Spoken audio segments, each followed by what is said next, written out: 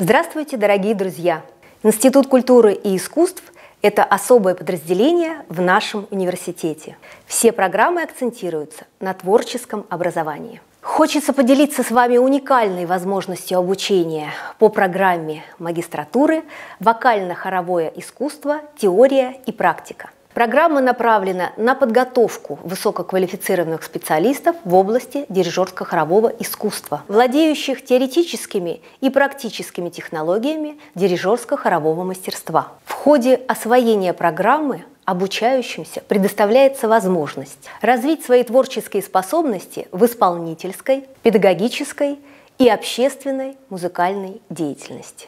Данная программа способна объединить все виды творческих дисциплин. При этом процесс обучения дисциплин акцентируется на педагогическом обучении. Дирижерская подготовка, вокальная подготовка, вокально-хоровой ансамбль, методика преподавания дирижирования, хоровая аранжировка, теория и практика хорового искусства. Программа ориентирована на творческих, активных людей, имеющих образование бакалавра и специалиста в области музыкально-педагогического образования, а также специалистов планирующих изменить свою профессиональную подготовку и получить возможность дальнейшего трудоустройства в педагогической, исполнительской и музыкальной деятельности.